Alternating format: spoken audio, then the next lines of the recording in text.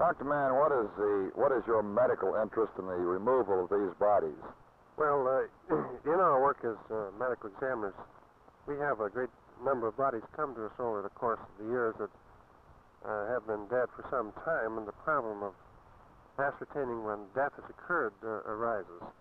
For example, uh, we have a body recovered from uh, water that's been in there, say anywhere from a month to three or four months. Uh, we have to understand the changes that go on in order to give a reasonable uh, estimation uh, as to the time the death occurred. And this, of course, is extremely important uh, to the investigating authorities who really must know this, uh, have some answer to this question. Doctor, we understand there's quite a, a bit of Virginia and Southern history connected with the discovery of some bodies. We understand that quite frequently you people come across Confederate graves and bodies. Is that correct?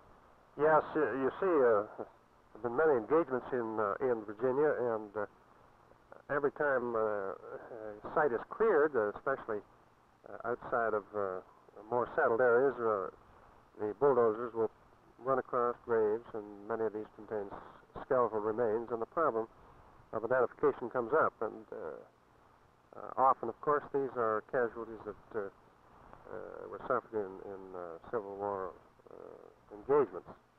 But uh, uh, really, uh, the problem of identification in the hands of the expert is, is, is not a difficult one. It's more time consuming than anything else, but it's fascinating what can be, uh, be learned from the examine, examination of skeletal remains.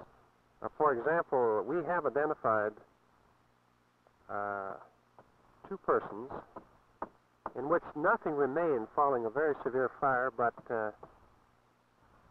a powdery portion of three teeth in each, which had a small uh, dental bridge. But the dentist was able to positively identify these as his handiwork, you see, and made positive identification. No, no question because these were fixed bridges and they couldn't uh, they couldn't be taken off the body.